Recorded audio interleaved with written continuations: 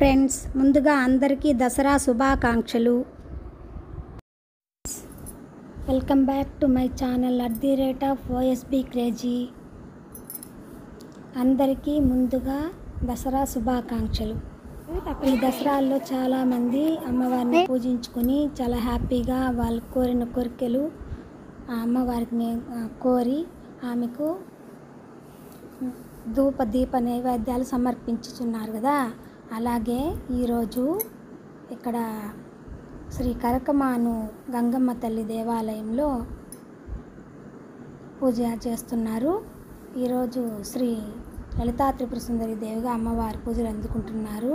ఇక్కడ గిరి అనే శ్రీమతి అండ్ శ్రీ గిరి దంపతులు పూజ నిర్వహిస్తున్నారు ఇంకెక్కడ చిన్నపిల్లలందరూ చాలా హ్యాపీగా వచ్చి అమ్మవారికి దండం పెట్టుకొని ఆడుకుంటున్నారు. పెద్దలు ప్రదక్షిణాలు చేసుకుంటున్నారు.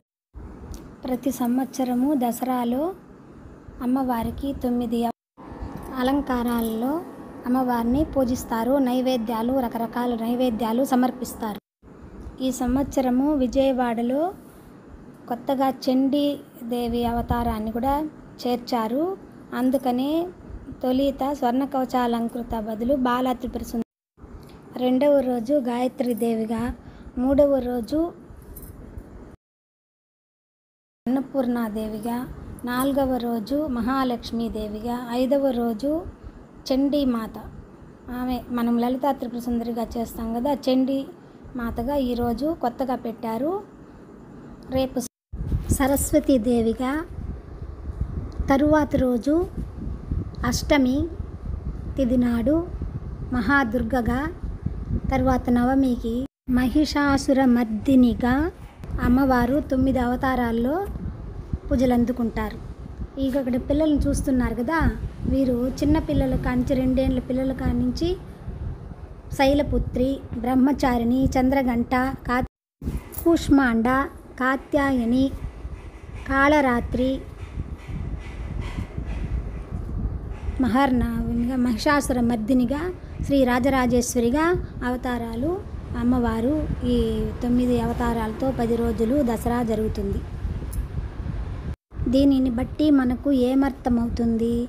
ఆడపిల్లలు ఫస్ట్ మనకు కూతురుగా తరువాత కొంచెం యుక్త వయసుకు వస్తే కుమారిగా తరువాత పెళ్ళి చేసుకున్న తర్వాత సుమంగళిగా తరువాత జన్మనిచ్చిన తర్వాత తల్లిగా తరువాత భార్యగా తరువాత అమ్మగా కాబట్టి ఆడపిల్లలని మనం ఎప్పుడు కూడా తప్పుడు మాటలు తిట్టకూడదు.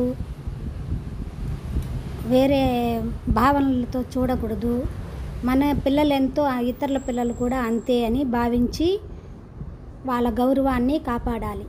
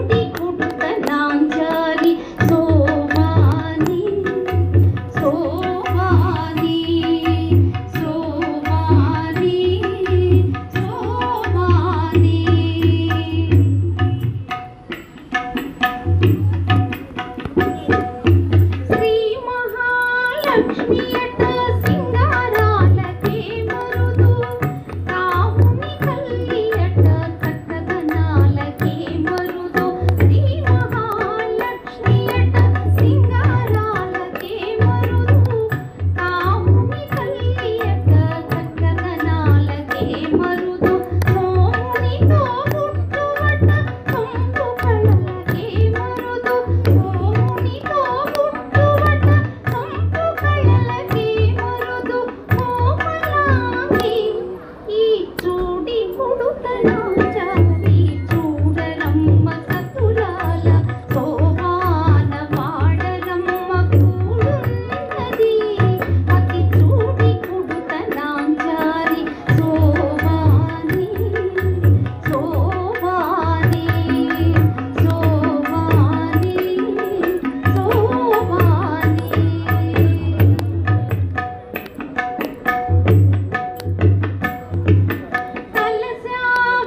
ಉದುರಟ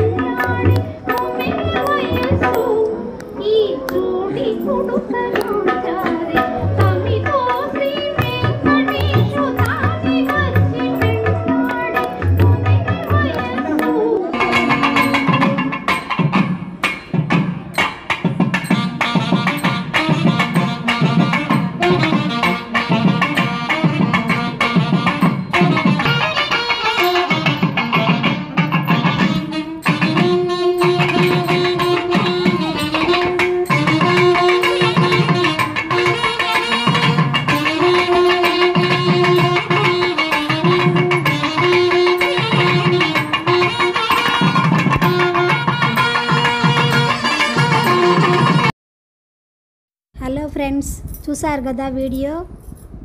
కామెంట్ చేయండి లైక్ చేయండి షేర్ చేయండి ఈ వీడియో నచ్చినట్లయితే మీకు. Okay bye. Thank you for watching.